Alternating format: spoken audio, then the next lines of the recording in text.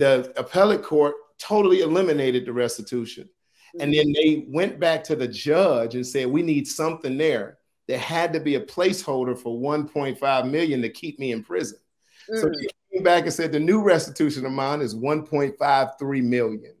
They said that was the actual loss. Now we've gone from 100 to 33 to 9 to 4.7. Now they say this whole case that got me 28 years is about 1.5 million for one contract.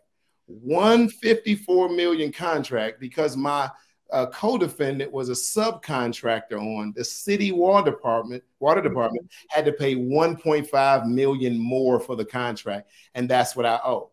The judge hit the gavel. That was the restitution but then she did something